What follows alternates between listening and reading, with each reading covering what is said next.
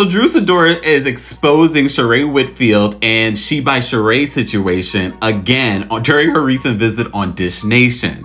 So when Drew Sidora dropped by Dish Nation, she revealed, as you may recall, during the reunion, at the end of the reunion, allegedly, Sheree was gifting the ladies some items from She by Sheree, which we know later found out the website didn't launch, blah, blah, blah, blah, blah.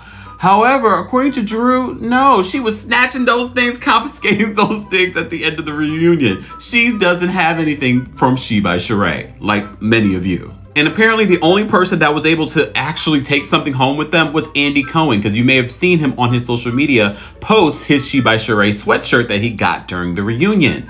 But apparently the ladies were not able to get not a thing, not a bag, not a t-shirt, anything from She by Sheree. Have you gotten anything from She by Sheree yet? And if you did, let me know how it is.